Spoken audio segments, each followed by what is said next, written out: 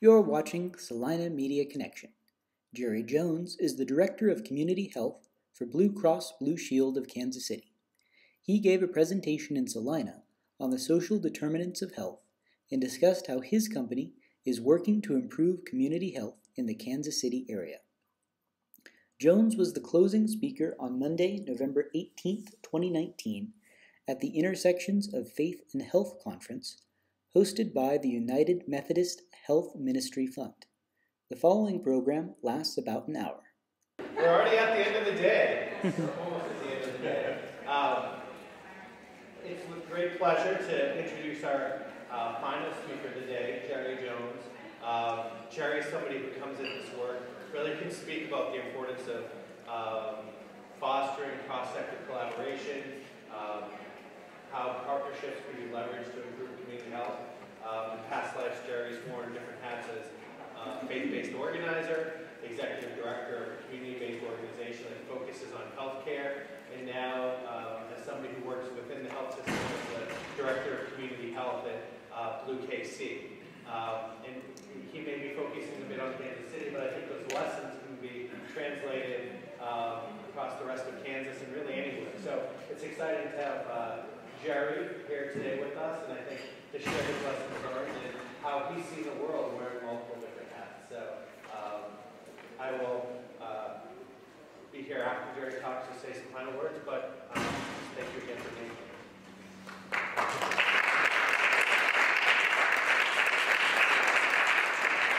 Thanks, David. Uh, I should point out that I am, PowerPoint and I have like a really odd relationship.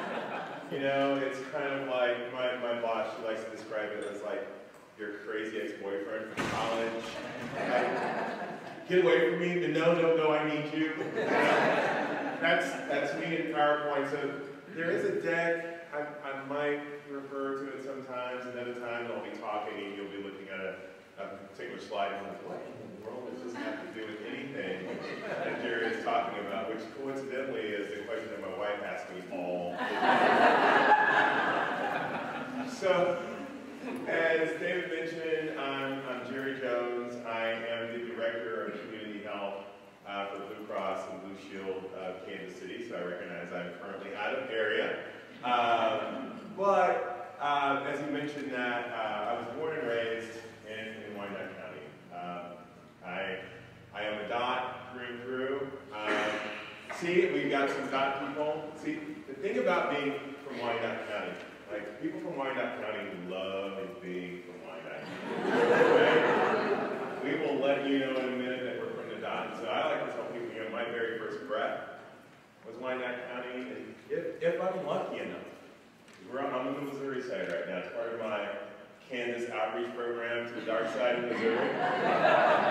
but, uh, but my last breath, that probably will be I, love, I love being in Kansas City.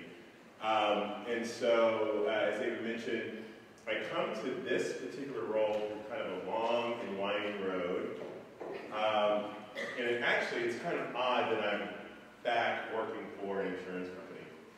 Um, in 2003, I was working for actually a company based out of Boston, um, Liberty Mutual, and I was working with individuals with disabilities. I mean, that's how I looked at my work. My bosses said you work disability claims. I'm like, I work with people who had disability claims.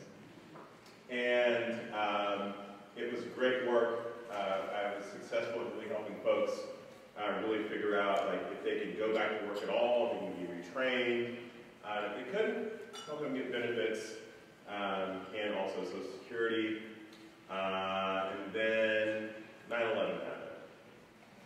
And the whole tenor and tone the company began to change. And by 2003, it became untenable. And I told myself at the time, I will never, ever work for a for-profit company ever again. Not to mention an insurance company um, and went to work for an organization called Jewish Vocational Service, working with individuals with disabilities. Uh, and from there, I began uh, volunteering for a grassroots uh, community organizing effort called Communities Creating Opportunity or CCO. And the whole idea behind it is that as I was helping people, I was always helping one person each time, and it seemed like a lot of the stories were always the same. That I'm receiving Social Security disability benefits if I want to work, but if I work, then you know, then they offset my money, or um, I, I want to work, but uh, there's not sufficient um, ergonomics for me, there's no accommodations for me, like they just kind of happening over and over and over again. It's like you put one fire out over here, and there's another fire over here. And so I began to get interested, like, well, if these things just keep happening to lots of people, shouldn't somebody be trying to figure out how to deal with the problem, right? Um, and so that's kind of how I stepped my toe into grassroots organizing. After volunteering for a year, joined staff, and that's really when the world of, like, I had never knew of anything called health equity. That was like something that's completely foreign to me. Uh, equity was something that you have in your home. Equity was something that I've heard people have, like in their stock portfolios or whatever. it was not something that was familiar to me at all. Um, but that's really when my life, professional life, and personal life began to change. And that's really when I began to find uh, my North Star, which is better health for everyone. Um, and I think that most of you probably um, probably have some similar North Stars in your in your various lives and, and professions and vocations. Um, so organize really began to move the needle on some health equity work, and then I get a phone call from uh, my friends at the Reach Healthcare Foundation. And this is kind of, I'm just, I'm just really slow at certain things. I don't take hints very well. My dogs will tell you that I don't take hints very well. when they want a treat, when they need to go for a walk. So um, Bill Moore, who was formerly at Reach at the time, had started reaching out to me about this organization called the Community Health Council of Wyandotte County, and they were looking for a director. And I'm like, oh, this is great. I'm going to have somebody to work with once they hire somebody over there. Finally, someone who's going to be doing something in the dot, right?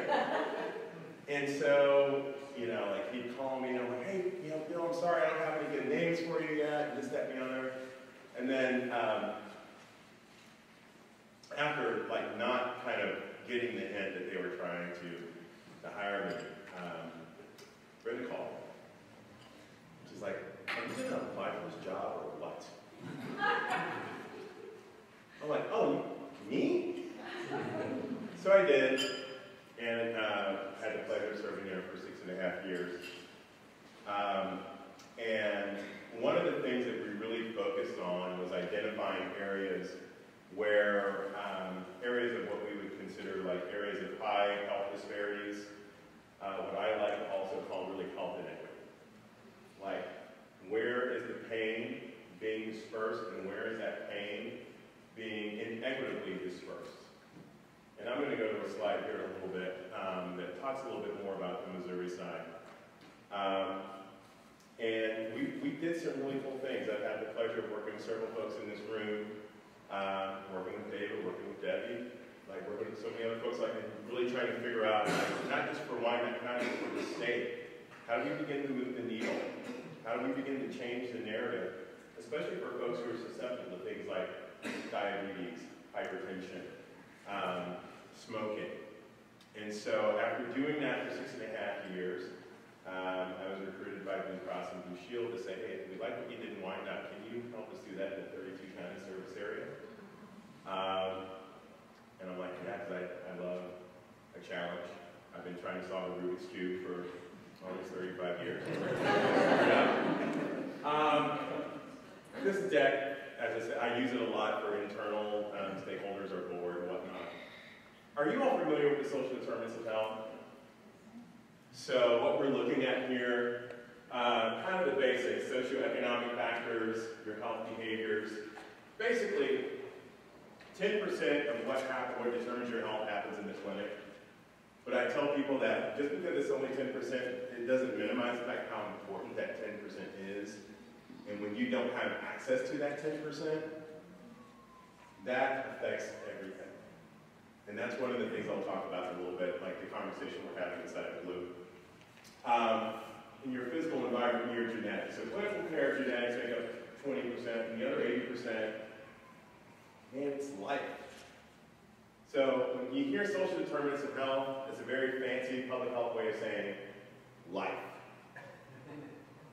life, your experiences, your environment, the things that happen to you, those are the things that are shaping your health. And those are the things that my team at Blue Cross and Blue Shield are very interested in. So public health has been on this for 25, 30 years. Um, health insurance companies really, maybe the last three years, have really begun to pay attention. So what I told my boss's boss's boss in executive committee is like, the good news is that we are really kind of like the leader in, in our market, in the Kansas City market on this issue. The bad news is that we have been on the sidelines for about 82 years on this. So we are extraordinarily late, better late than never. So for us, we like to define it as inequities in power, money and resources that give rise to inequities in the conditions of daily life, which in turn lead to inequities in health. Um, I could spend a day or more breaking that down. Inequities in power, money, and resources. And that, I have to say, is the story of it's the story of Kansas City. It's the story of America, urban and rural. You know, if you are not, you know, living with the have-nots in the big cities, the rest of us, we're dealing with the inequities in power. Um, for individuals um, with brown skin, black skin, lighter skin, uh, yellow skin, this is true for us almost regardless of where we live, where we grew up, how we grew up. This is real. And it's measurable. Um, but we can get into that a little later. And this is just more, um, oh, I didn't realize it had a little fancy thing doing that. This just kind of breaks it down a little bit more, right? Um, so, I mean, it's basic stuff. It's money. It's where you live. Is it safe? I'm not just talking about like safe from like crime. I'm like, is it safe? So the neighborhood, I wish I had a picture of this. So the neighborhood that I spent most of my time in was my grandparents' house. Um, and it's kind of sad now because it's actually on the condemned houses list in Wyandotte County. But for as long as I could remember, I thought it was cool as a kid. um, the sidewalk, there was uh, there was like this kind of natural ramp. Well, not natural, but like a tree had grown grown up through the sidewalk, right? And so there was like this kind of ramp. So if you kind of get your bike going, man, that thing was like, whoo. You know, we kind of pretend to be Dukes of Hazzard, you know, on bikes and stuff. And we would argue over who was Bo and who was Luke. Uh, but it hasn't changed. It's still, it's still there. The, the sidewalk has never been fixed. So if you're someone who needs to walk, if you're someone who ambulates with a walker or a wheelchair, or if you're differently mobile, it doesn't work for you, right? It only works with stupid kids, bikes who are trying to do rents. But so the environment, like, is it actually safe? Is the house that you live in, can it make you sick?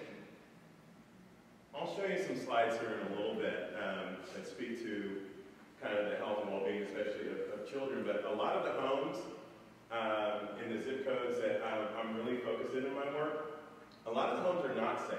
Uh, met with the Kansas City, Missouri Public Health Department last week, and they have a lead safe program. It's, it's a grant they received from HUD, and they go through and remediate homes for lead. And so I asked them, like, what percentage of homes do you feel like you all have gotten to? This has been a renewable grant they've had for several years. And he told me, he's like, we estimate that we've gotten to a total of about 2% of all the homes that need, and it's because they don't, they get like $300,000 a year. Um, many of these homes built before 1978 when lead paint was very um, readily available and, and most homes had them. They estimate anywhere between 65 and 90,000 homes total are at risk for having lead. And that's just in Kansas City, Missouri. In Wyandotte County, where I was working, we had close to 50% of all of the homes in Wyandotte County that were that the EPA considered to be at risk uh, for, for lead exposure. Um, which is a challenge when we start thinking about um, children, what exposure to lead does to brain development for toddlers, like before the age of three, because your brain is growing and developing. We know the studies show that um, children who are exposed to lead, their brain grows about 2% less than children who are not exposed to lead. So it literally shrinks brains. And the implications of that are serious, especially when you start thinking about how does one deal with emotion, how does one deal with disappointment, struggle, conflict. Those brains are developing, those, the, the, the muscles are developing during that period of time. You're talking about 2% brain shrinkage, it has implications for when those children grow up. The health department record, they suggest it's about a $40,000 cost on average for every child who's exposed to lead, that the, the cost over time for each one of those children is about $40,000. And they, they suggest that number is relatively low. That's a very conservative estimate. So, I know this is Missouri, um, but this is what we're dealing with in Missouri. It's probably not much different in Kansas. Um, that diabetes is more prevalent amongst African Americans. Diabetes is more prevalent, uh, the less education you have.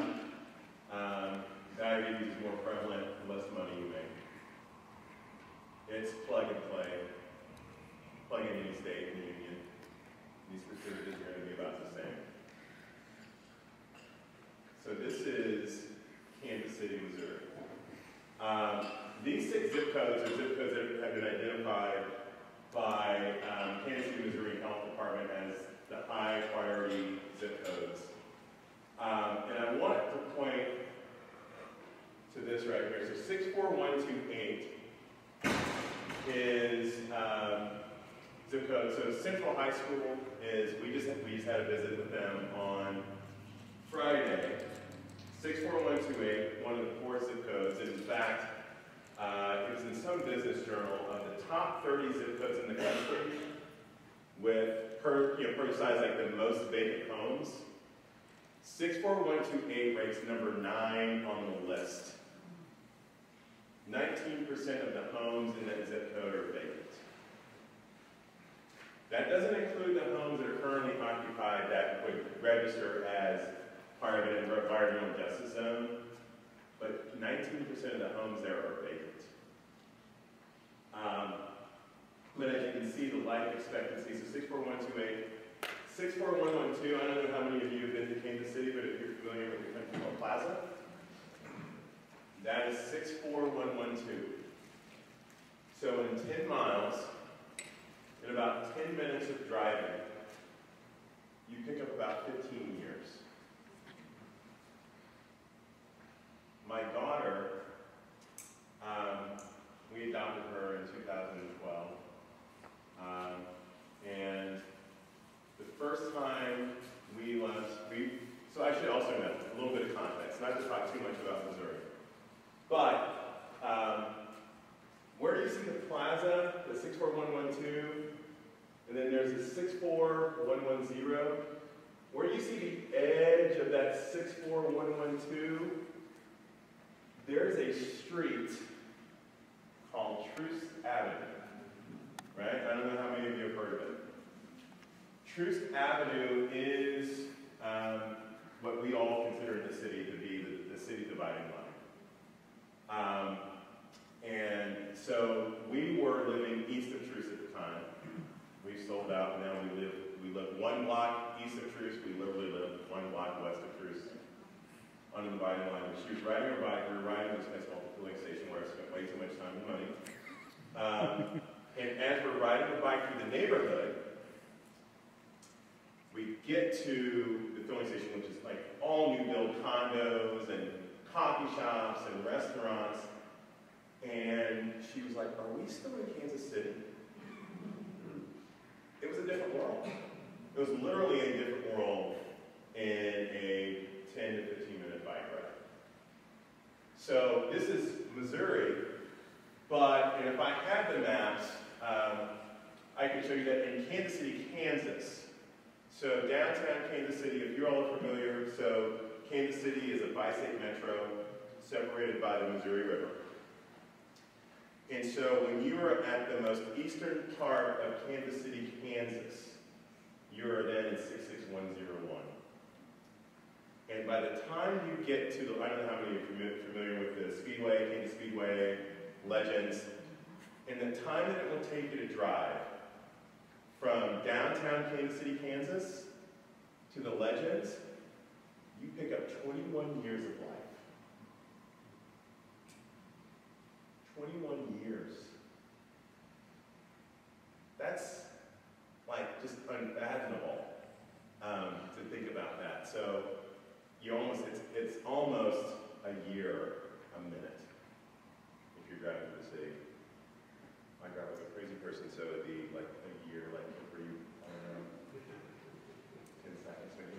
Um, so I guess the point of all of that is to say that Blue Cross and Blue Shield, we are looking at, and I'm going to go back to this. So, so we have a 32 county service area. Wyandotte and Johnson are a part of our service area. All of these, you know, obviously Jackson County um, and another 29 counties are in our service area. So the city of Kansas City is well within our purview. So we're paying attention to this and we're asking ourselves, all sorts of questions around, um, like, the members, the people that have our insurance, where do they live? What's the environment that they go home to when they leave work? Um, what we're starting to find out is that they don't exactly go home right away. Many of them go to their next job. Some of them would not go to a place that we would consider a home. We have teachers in Johnson County, in Shawnee, who are living in their car. We are waking up to the reality that the things that have been going on as it relates to the social determinants of health in our communities are actually having an impact on our people. And so now we're asking the questions, what can we do as Blue Cross and Blue Shield? And our team, and really it's my boss's wisdom, she's like, before we go out into community and really begin to ask the questions about what's going on out there, we need to ask ourselves, well, what's going on in here? So what you're seeing, we did a social needs employee survey. Um, so I should back up a little bit. So one of the, the, the big project I'm working on right now is to create, um, and any one of you who work on any of the KDHE 1422 grants will, will love this, setting up clinical community linkages, right?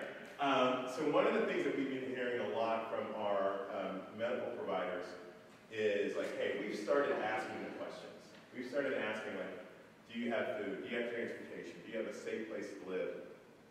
But the problem is, we don't have any place to refer them to. We don't have a mechanism. It is all dependent upon individuals that have their individual right? So what we're finding is that when you start really getting into the hospital system, there the people who actually know what they're doing, right? And know how to work with people, they all have their stuff. Like, oh, you can call this person, I'm gonna call this person, I'm gonna get you over to this person. And they're able to meet those individual needs, but there's no system in place. So unless you have a relationship with that person, you're flying blind.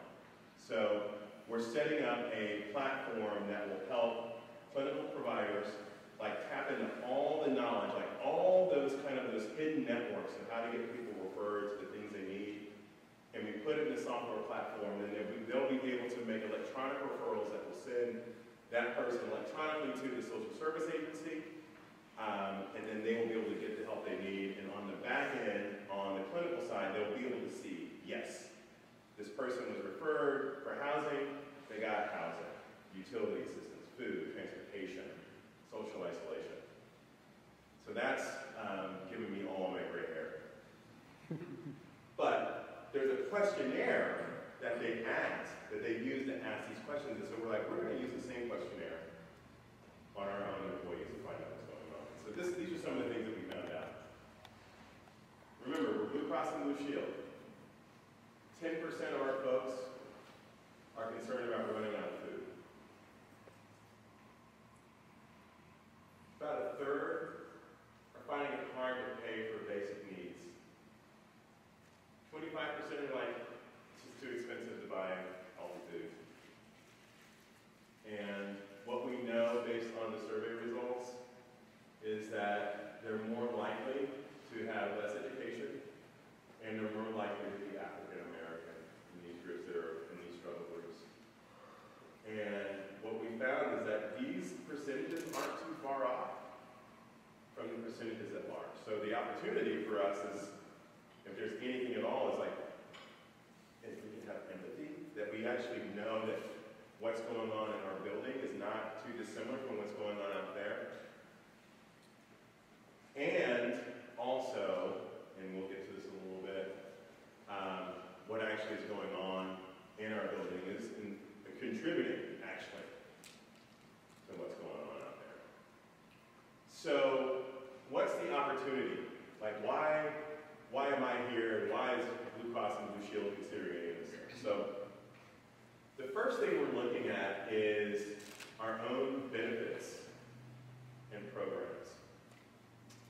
And so, um, when we first designed this, the idea is like, what are those things that are getting in the way that could help people, uh, you know, get healthier? So one of the things we looked at was diabetes. So diabetes prevention programs are expensive. Uh, but we were set, we had it set up where it had to be a part of your deductible. Like if you wanted to do diabetes prevention, it's like, great, you put it towards your deductible at whatever, $499, whatever it is, and good luck to you. So what we decided is like, no, we think that this needs to be made available. They want to do it, let them do it. They don't have, it's not going to be a deductible thing, just, it's tough. Um, our partners in Minnesota have made insulin before the deductible. Um, so like I said, we're really late to the party. So like for us, like it felt like a step to do diabetes prevention. We know there's so much more. So we're looking at benefits and programs from that standpoint. But the other thing that we started looking at is in what ways are benefits and programs themselves creating adverse social determinants of health. So one of the areas that we found is like through the administration of the benefits themselves. I'll just tell you a quick story. Um, so I, I don't have diabetes, and I'm fortunate that I don't have anyone in my family who has diabetes, but I know that for, we had uh, individuals with diabetes who have to renew their medications every 90 days. And what was happening is we started seeing folks being denied on their renewals. And um, I don't I'm still trying to figure out, so one of my team members is a dietitian, and I feel like she knows everything there is to know about um, diabetes management, but also like all the benefits associated with it. She's obsessed with making sure that all the members get every benefit that they are entitled to. So these problems kind of get to her somehow. She's kind of like the fixer of all things like chronic disease management. And so they're like, Nancy, these folks are getting denied. We don't really know why. It's in their benefits. We don't understand why this is happening. So she goes to work, and she's figured out that it's actually that our system, our claim system, sees it as it's a you renew every 90 days. So these people were renewing at day 80, or day 82, day 75. And so the system was denied. Like, you're supposed to renew every 90 days. And she's like, you do realize they can't wait until day 90 to renew. Like, that doesn't even make any sense. And so she pushed for renewal starting at day 70. The company said, we'll, we'll allow day 75. Okay? And so I should note, the reason why I bring that up is that three of the folks who were denied had been sent to collections by the durable medical equipment company. Because we had denied the claim, they couldn't pay it, because we're now talking $7,800, right? And so it's going to collections, so there were three of them. She's like, well, I think there might be more. She found 117 total who were being denied. The good news is, is that all of those have been approved, um, and our team now is working with them on the credit repair piece. Because our position is, that's not just a denied claim. That is a denied loan they want to go get a car. That's a denied first, they want to get an apartment. Maybe to get a house. Our system is standing in the way between people having the life that they want. And so it's looking at benefits programs, figuring out where our systems are not working, where our systems don't communicate, and fixing them. So, and we're, again, this is a very new department, so we're just beginning to scratch the surface. So it's not only trying to figure out how to make benefits programs available at the front end, but then how do we eliminate all of those system glitches to keep people from having adverse situations and making sure everyone gets the benefits that they're entitled to. Um, it is amazing. Here's what I here's what I found. I just assumed that I was going to a company we all understand health benefits. None of us understand health benefits. And like, so it's like I know like you guys every time like you get the, the renewal packet, I just went through this, you get the renewal packet, and you're just looking at this stuff, you're like, I don't know what any of this stuff means. I just want the stuff that I had, and I want the cheapest price. And it, our whole building, we're like, oh, how do these benefits work? So I'm just so glad I have someone that actually understands that. So we're trying to get smarter and better for, for everyone. Um, care integration. Um, look, at the point of care, really beginning to identify what are those challenges that are standing in the way. Um, so I would say, how, how can community help in this part? Like, doctors are nervous, providers are nervous to ask the tough questions.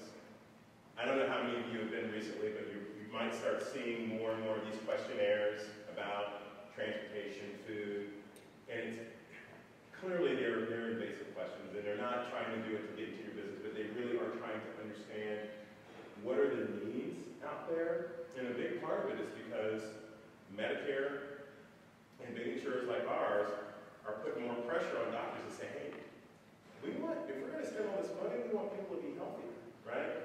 And so we're putting all these demands on your on your doctors, and not a lot of back. We just think, we want them better, make them better. And so part of it is they're asking you these questions to try to figure out what's going on outside when you leave this clinic, what's happening to you. So if they ask you these questions, I know it's like it's a pain in the butt. Please consider answering it. it the better the information you can give them, the better that they will be able to help take care of you. And, and, and so for anyone you know, like, again, it's, it's, it's annoying as hell. And I know you should be thinking, like, man, why do they ask you every single time? We're working on that too. How do we get it to where they don't have to ask you every single time you walk into a doctor's office? It's so annoying. Uh, the data analytics piece, so the things we learn from those social needs screenings, uh, and the things we learn based on where people get referred and the help they need, and then we can follow up and say, okay, did it make them better? Did getting them access to food actually improve their med medication adherence? Did their blood pressure go down? Transportation, were they able to make it to their appointment? Those are the kind of things that we're trying to figure out, and then we figure out, like, what are, what are those things that are so big that it doesn't matter how much that just Blue Cross and Blue Shield of Kansas City or Blue Shield of Kansas does, what are those things that are so big that we need policy, that we need to be partnering with Sheldons of the world, and partnering with, you know, uh, with United Methodist Fund, like, these are the public policy things we're looking at. What are the holes in the system? And there are plenty, right? But we need the data to tell my team where to fight. And so without that care integration, without the screening, I don't have the data, and we don't get to pick the fights that we know we need to pick. Our company, like any insurance company, is risk averse. We do not like having to do things we don't have to do. But if the data tells us, hey, you know what? Housing is a challenge. Affordable housing is an issue that we're taking on right now in Kansas City. Um, and this is something brand new for us. And so we're still trying to figure out how we might do that. But we know it from the public data, but once our folks are telling us, um, I don't have a safe, affordable uh, place to live, or utilities, or a pain in the butt, we don't know where to fight. And then ultimately, we want our giving um, and everything else that goes along with it, our corporate responsibility to line up um, with the values that we have, uh, which is making sure that everyone has access to health. And I don't know where I am at times. I am just, oh, good. So, this is something that we're using internally, and I asked if I could use it, and they're like, absolutely, but um, yeah, I told that we had screened our employees, and we identified some challenges. So we're looking at, okay, what are the things we can do? So when we start thinking about, like, what are things that we could do, like, in-house, um, we're like, well, we could do a hardship fund. Several groups in Kansas City, big companies, have a hardship fund for folks. Um, we we uh, have a bonus program. So I recommended, like, well, I would give my bonus to some sort of program to help people in need. I'm doing okay. I know if we got a third of folks who are struggling making ends meet, put my bonus towards that. I'm good with that. So they're going to have an elective where you can elect your percentage to do that. And then we're looking at um, we're trying to explore all different access to food, healthy food. Um, we've got uh, an initiative called WellStock. We're working with harvesters in Kansas City, really looking at how we create more access to food. And so we're like, what would it look like to do that here uh, within the building? Um, but then we wanted to go to the next level. We started looking at um, the VBID is value-based insurance design. So we're looking at how do we create plans that we know are going to drive benefit for our, our members, users. Redeploy HDHPs, high deductible healthcare plans. We use the word redeploy. Um, that's our kind way of saying, rid of them. Uh, um, no, but but point on,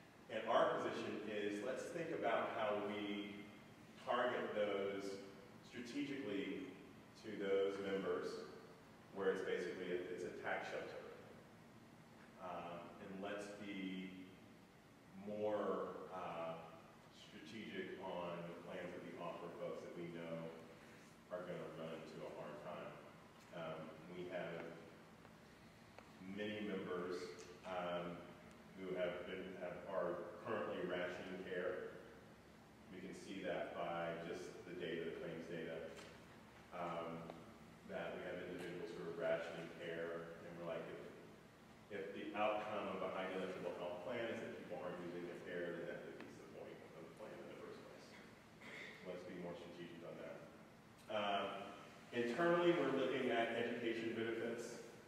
Um, we've got folks.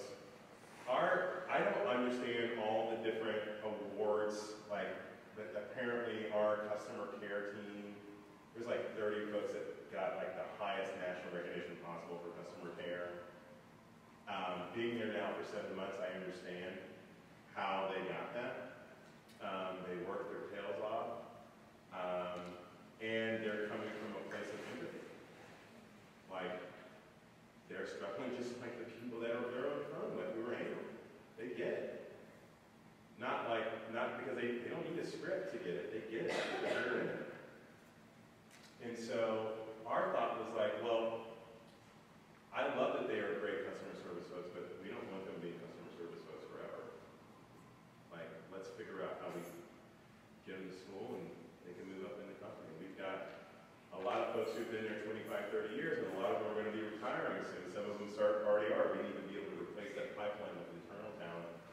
Um, that's what we're looking at. And then, of course, we're looking at for our what we call our commercial population. So all the folks who have their insurance through an employer. Um, we're looking at things like non-emergency medical transportation. We're looking at MTM as medically tailored meals. So not only are we interested in creating access to food, we are interested in looking at food as medicine.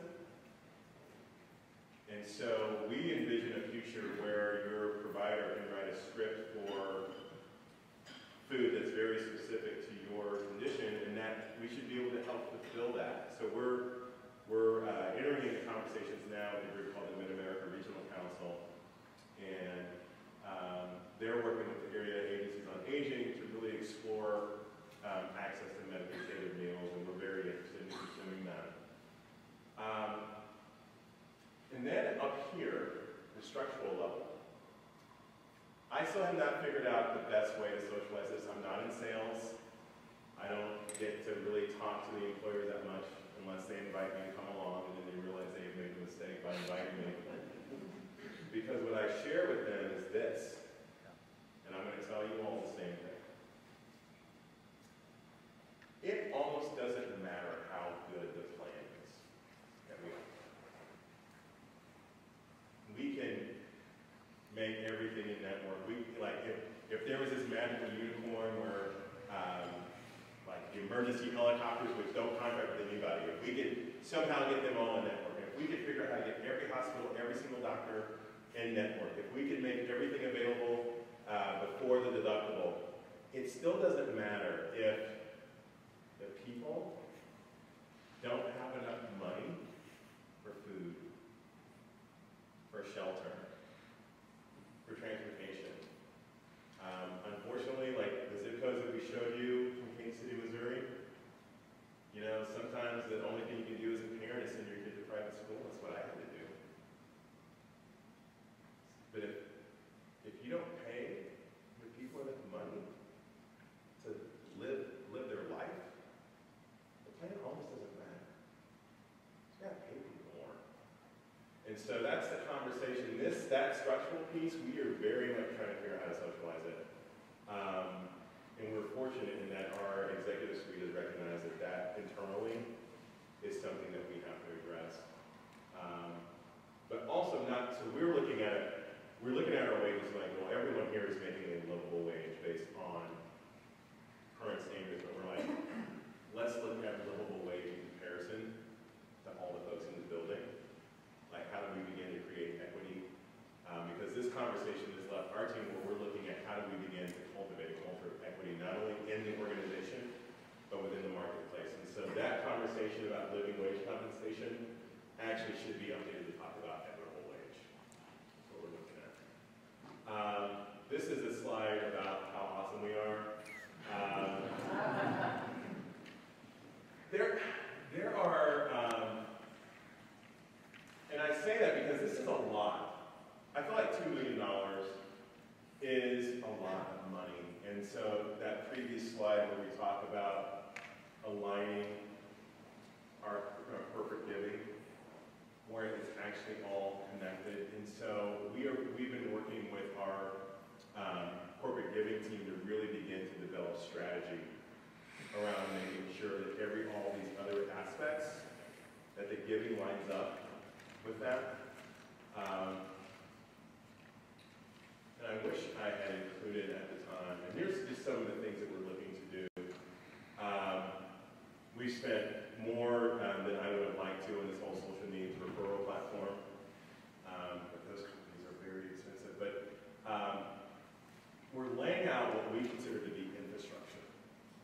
So there's a techno technological infrastructure that we're paying for, um, but you all represent to me like what I consider the adaptive infrastructure. Um, we can't do any of this without all of our communities, faith community, um, all of our social service community, um, community partners, um, local and state government. Um, it's going to take all of us to really begin to figure out a different way of meeting the needs um, of people. Um, because a lot of the folks that we're charged to take care of don't qualify for services. They make too much, but they don't make enough. They're all in that, that donut hole, right? Which is why we definitely we need Medicaid expansion everywhere. I know, like, you know, David and Sheldon have been beating that drum for a long time, like, that Medicaid expansion of all the things uh, would be, to me, the biggest lift for all of those votes, all those social determinants of health um, become less burdensome with expanded access to Medicaid. Um, and I'm glad that Blue Cross and Blue Shield is finally on that train um, for both Kansas and Missouri. Um, and this is the, this is our slogan, we are here for good. Um, and the community health team, um, our mission is to keep that honest. Keep that honest. Um, and the way that we're able to do that is to enter into conversations with you all. And I know obviously that many of you are outside of our service area.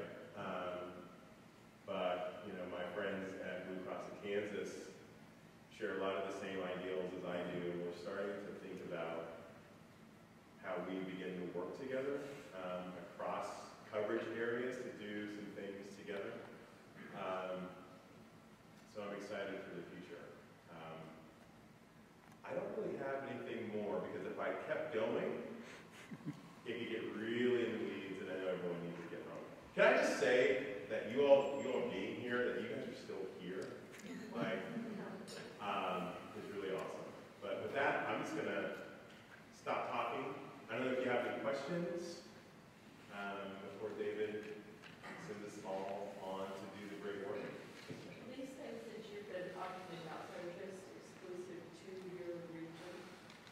So the thing that Cross, go ahead and incorporate that in That's a very good question. So uh, we are, all of Blue Crosses are independent of each other. So I believe there are 31 Blue Crosses. Most all of them have some variation now of the team that we have.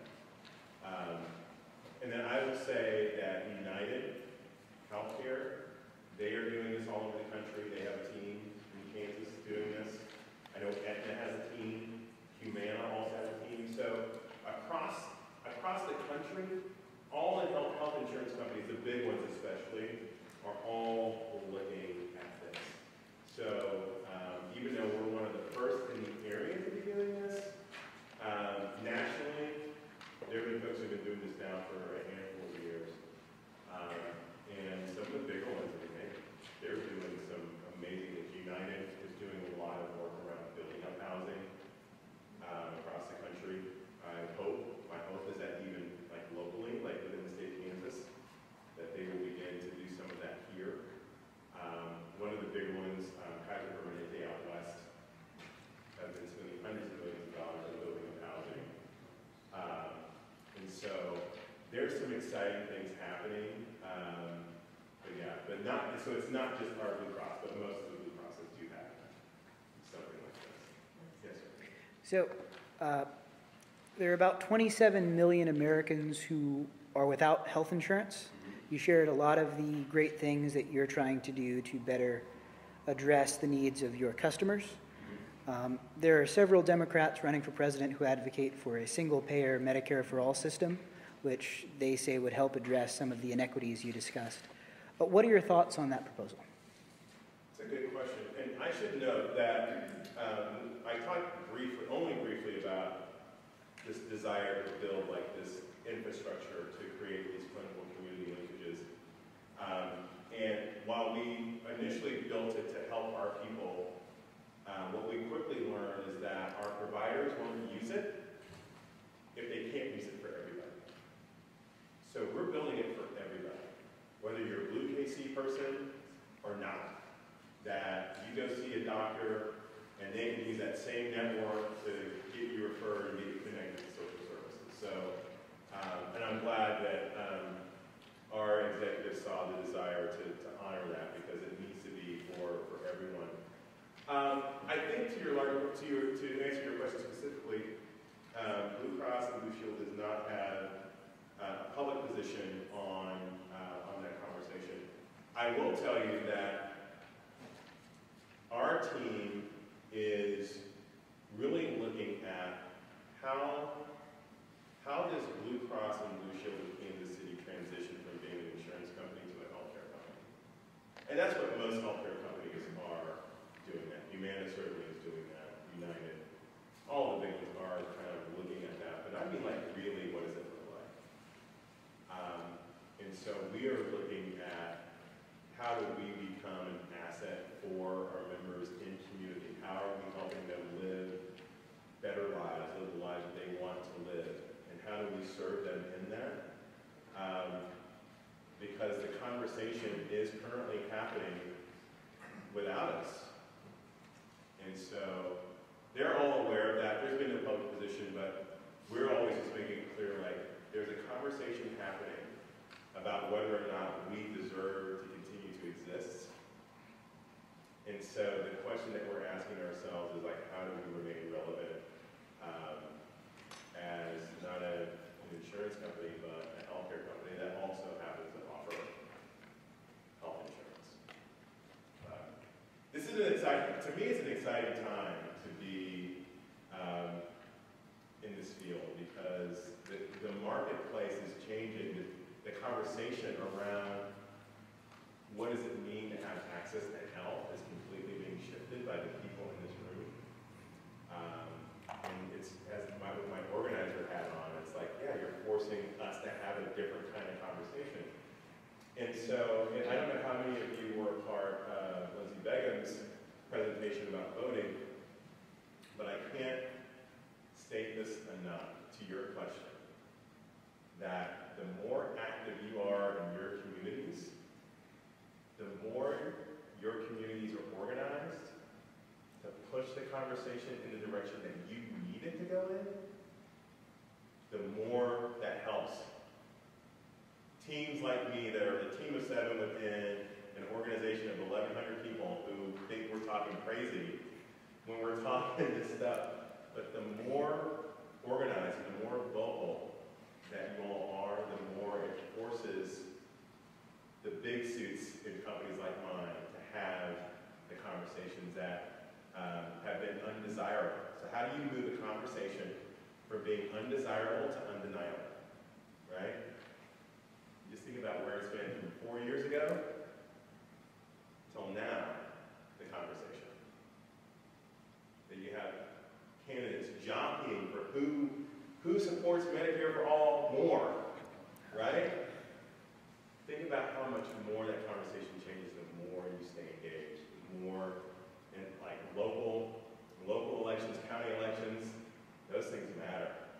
Especially for those folks that have political aspirations to keep moving up. So the more you influence elections at that local level, I'm talking school board, I'm talking board of utilities, I'm talking dog catcher, any, like, get in there because those people that you can influence even at that level as they start to rise, they're going to remember you, they're going to remember your name, they're going to remember your church, they're going to remember your community. So just keep pushing, keep pushing us. I, I need you all. Like, you have no idea how much it means to be able to have a conversation about health equity, knowing that the national conversation is, should health insurance companies exist? That makes it a whole lot easier for me to have conversations that we're having right now. Yes, ma'am.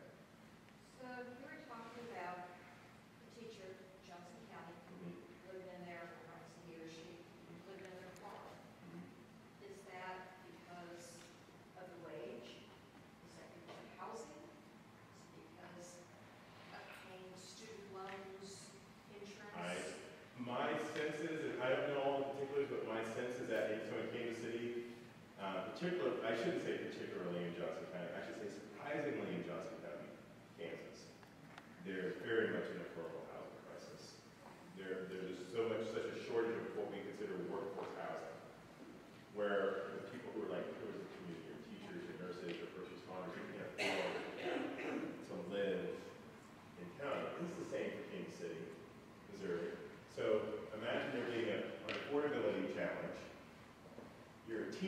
teachers are, you know, historically chronically underpaid in our world. So there's that. And think about the, the student loans. Like what it took for this person to be able to get through school and all the debt accumulated. So it's like, so it's all of those various systems that are um, kind of pushing against this person. And so the position that we're taking is, what would it look like if we weren't a giant anymore?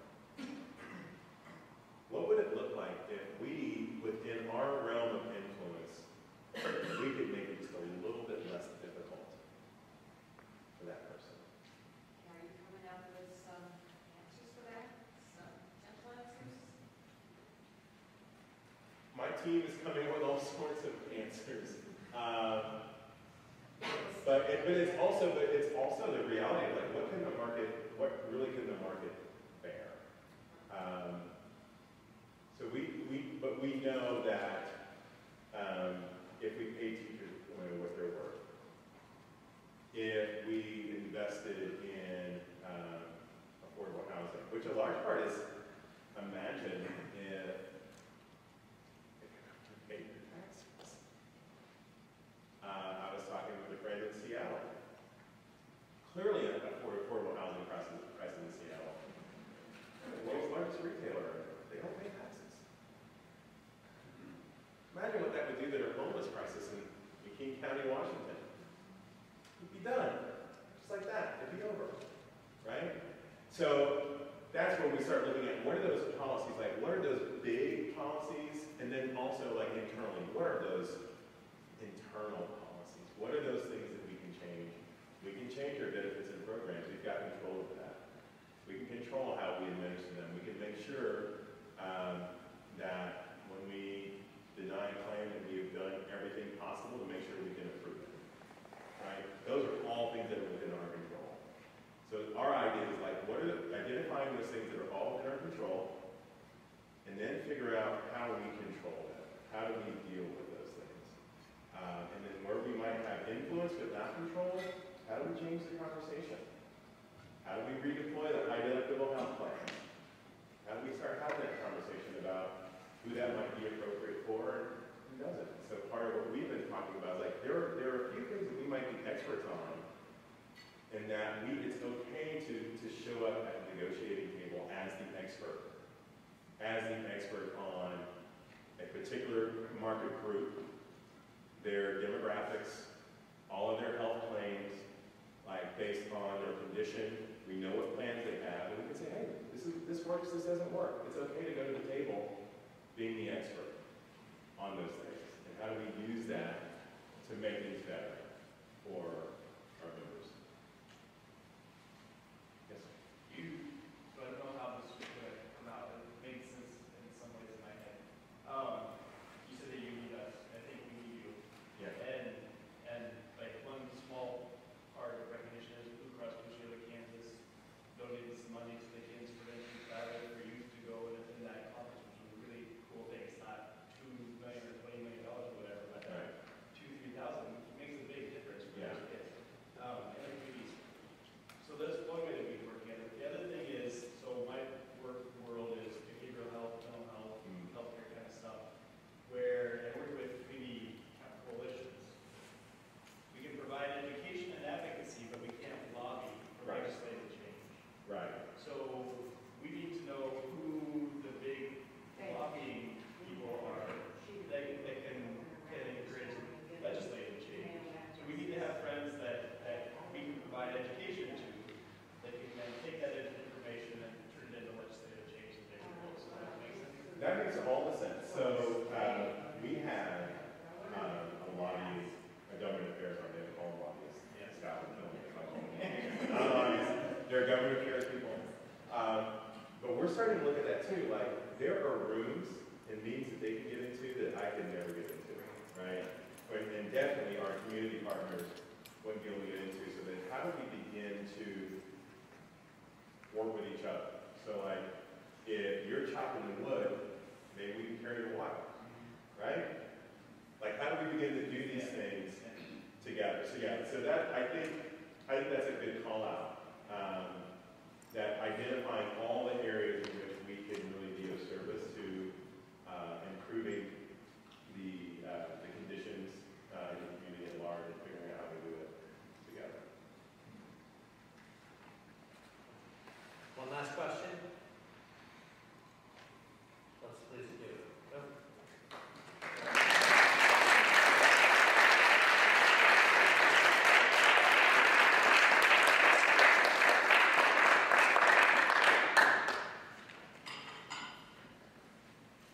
Uh, Well, I, I, again, I want to thank Jerry and thank all of you for coming. Um, I think it's been a really important day of conversation. And like actually Blue Cross Blue Shield of Kansas City, about a year ago, our board actually approved us using the social determinants of health as a frame for our healthy congregations work. So how can we, how can we recognize that health is, um, it's complicated. It's not just providing care in a doctor's office. And part of what we hope to do is catalyze that, those discussions locally, um, utilize you as partners in healthy congregations and partners in community coalitions to form important partnerships. We've heard today from the Kansas Hospital Association that they want to partner with us to improve community health and partner on social determinants of health. We've heard from at large health insurer that they need to hear from us in order to provide cover internally to continue to provide resources internally to their organization and externally to their members, but also benefiting the community at large. Um, it really is a charge that we have to improve community health, but going beyond our walls. Um, the social determinants language may be complicated and unnecessary. Um, it's really about community health and health. Um, and I'm excited that we spent today talking about it. Hopefully this is just the start or the continuation of our conversation. Uh, because if we really want to make impact, we need to go back to our communities and look for these conversations locally and not be afraid to push whether or not it's legislators or health insurers or hospitals. Um, because they really want to hear from us. Um, and that's what's going to make the difference. Um, please be in touch about ideas you have. Um, and most of all, thank you again for coming. Um, one logistical piece is there'll be a, survey of today, uh, a survey soliciting your feedback from today, sent to your email. Um, should be in your email box before the end of the day, maybe even before you leave here. So we'd love your feedback. Um, if you have other ideas, let us know. And again, I'd like to thank the entire team from the United Methodist Health Ministry Fund for all of their work. Um, Dashnika, uh, Christine, Katie, Jeff, um, obviously this wouldn't happen without all of you. And then a number of folks from the, uh, partnered with us to give us feedback. So thank you to everyone who helped inform the conversation. Um, I know that there was some, some, uh, petition maybe going around earlier. Someone was looking for it. I, I think someone might have it if you could leave it at the front desk. Um, otherwise, everyone have a great day and thank you so much.